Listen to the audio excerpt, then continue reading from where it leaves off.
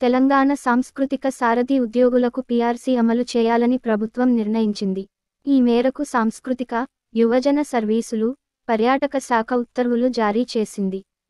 PRC రెండు వేల ఇరవై ప్రకారం తెలంగాణ సాంస్కృతిక సారథి ఉద్యోగులకు పీఆర్సీ అమలు చేయనున్నారు.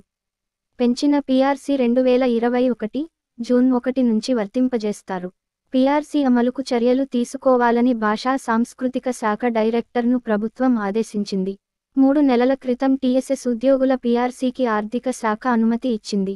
ముఖ్యమంత్రి కేసీఆర్ ఆమోదంతో సోమవారం ఉత్తర్వులు జారీ అయ్యాయి. తెలంగాణ సాంస్కృతిక సారథిలో మొత్తం ఐదు వందల ఎనభై మూడు ఉద్యోగులు ఉన్నారు.